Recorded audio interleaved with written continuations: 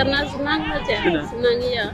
Terima kasih banyak buat Bapak Jokowi sudah bantu mama di pasar. Gimana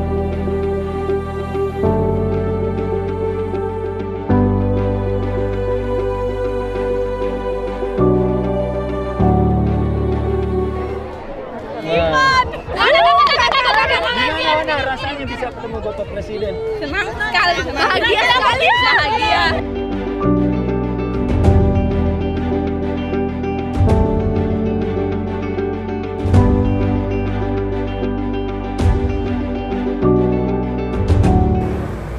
bagaimana beliau bisa turun, duduk dengan masyarakat, bertanya apa, bagaimana. Dengan bertanya itu saja, sebenarnya kami di sini itu tidak butuh apa-apa. Kami butuh yang begitu. Bertanya. Bertanya karena dengan bertanya kita eh, akan tahu apa yang kami mau. Kita mau di sini orang Papua mau itu apa.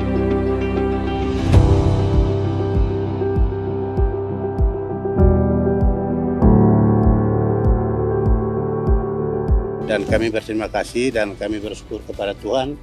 Tuhan luar biasa bagi kami. Tuhan titip kita titipkan kita di bangsa ini, kita diperhatikan.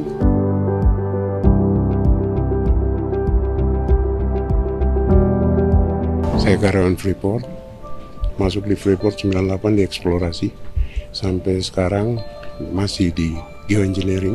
Untuk saya pribadi, luar biasa untuk kami, ter- ter- terutama kami putra daerah. Dan di sini banyak saya belajar tentang kebersamaan. Di tempat ini dari segala macam suku ada. Dan kebersamaan kami di sini tidak milih-milih. Kami selalu bersatu. Itu luar biasa menurut saya.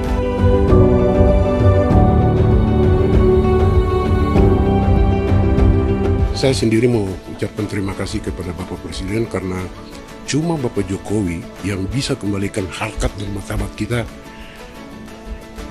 warga negara Indonesia 51 poin dua itu kembali cuma karena Bapak dia dan itu luar biasa menurut saya.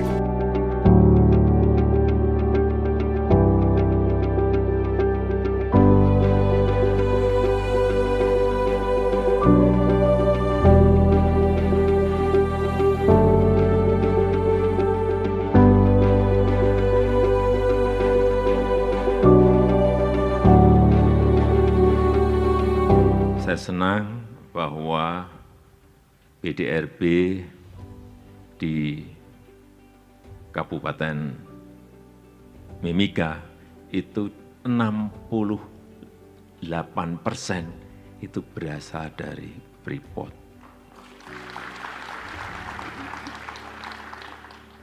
Jadi Bapak Ibu sekalian memiliki kontribusi yang besar kepada Kabupaten Mimika. Dan kontribusi terhadap PDRB di Papua itu sebesar 34 persen, juga gede sekali.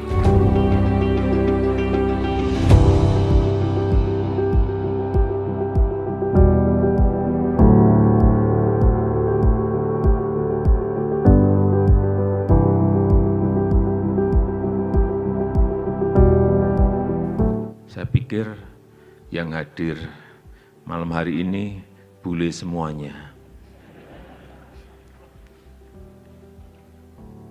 Ternyata yang banyak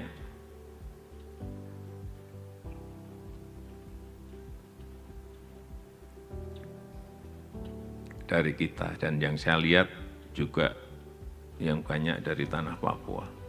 Pagi hari ini saya berada di eh, ruang kontrol untuk pengendalian operasional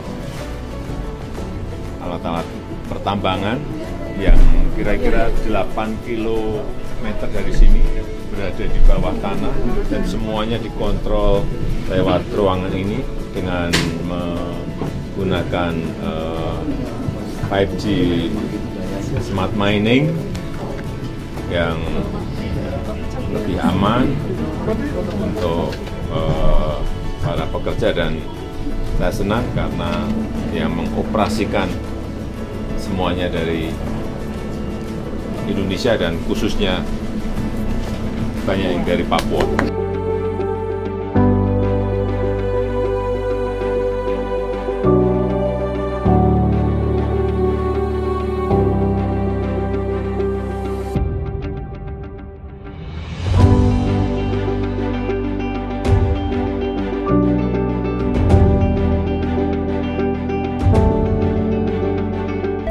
Tahu uh, beasiswa Aminef ini sejak kuliah sebenarnya.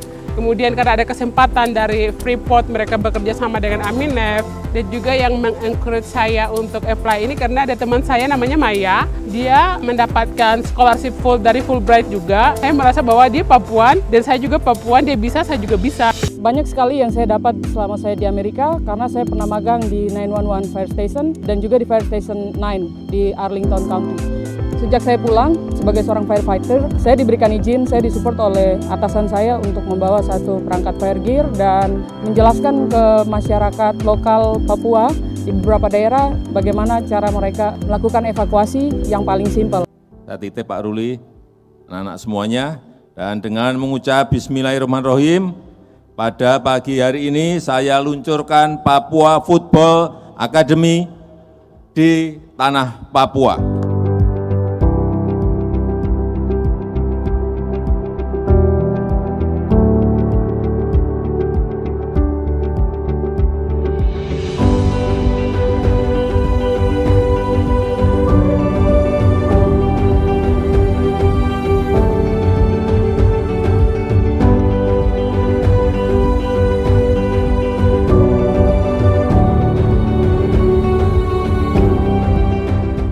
Sebab itu saya harap anak-anak di Papua Football Academy memanfaatkan dengan baik kesempatan yang telah diberikan untuk menimba ilmu di bidang sepak bola ini.